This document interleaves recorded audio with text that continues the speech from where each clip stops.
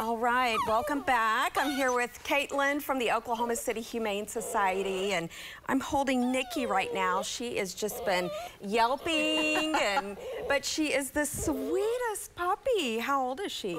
She's about two months old, and she likes to have her voice heard, that's for yes. sure. she says, hey, look at me.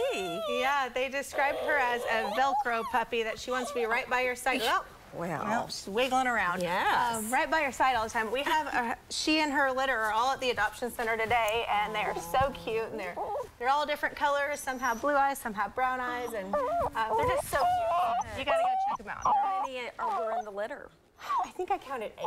Oh, okay. There, there's quite a few animals so today at the adoption center. So, okay, um, and it's also a great time to start volunteering too. Yes, so so she'll be at the adoption center, and they're always looking for volunteers too, and that's at 7500 Northwestern Avenue, mm -hmm. um, just not far from here.